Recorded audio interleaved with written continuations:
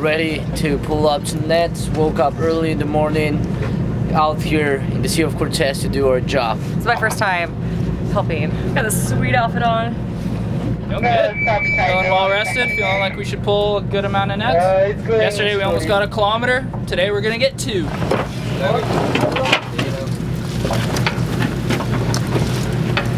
Oh yeah, Leo. Yeah, but yeah, we're gonna take it on board. Okay, let's put it. The, uh... All right, keep pulling. Keep pulling.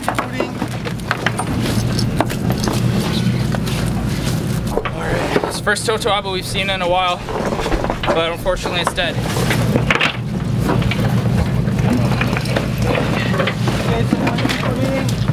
Yeah,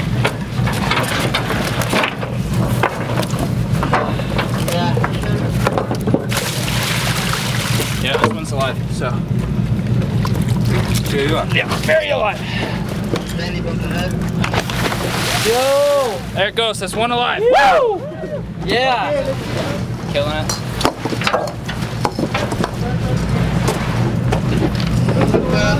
Okay, likely alive. All right, Leo. Have you seen a move? Okay, unload. No. All right, Sam. One sec. Oh, she's alive. Very alive, man. All right, let's do it. Very alive, very alive. She'll be good, she'll be good. All right, you're going back. Oh, that's so good. Get the jumping jacks, hell yeah. Excellent that we saved two. Sad about the third. But two. Which are alive and back in the water where they belong. Good job, everyone.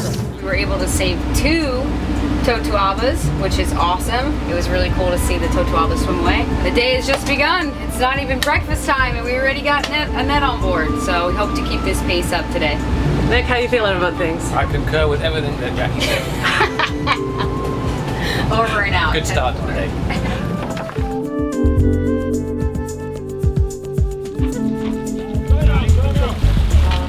Almost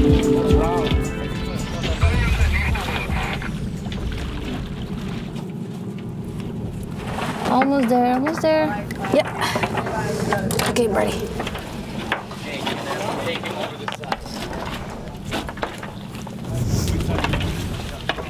Wow! Huge, huge turtle. Maybe the biggest one that I have ever seen, one meter point seven.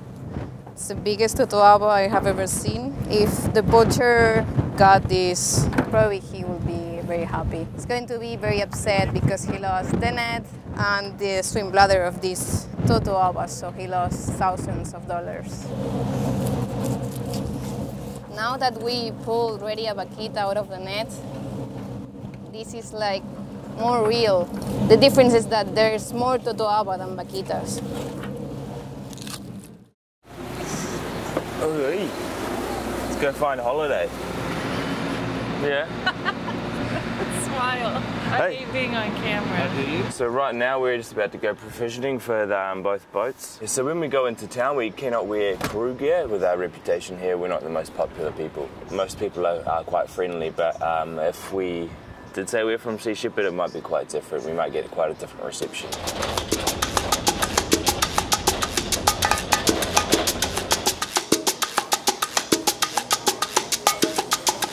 We've got champignons and cremini.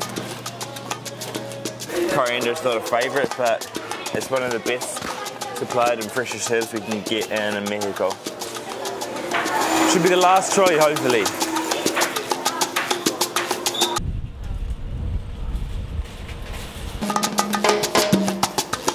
An army marches on its stomach, so I put a lot of effort into trying making that food tasty, um, healthy, nutritious, to um, keep everyone going.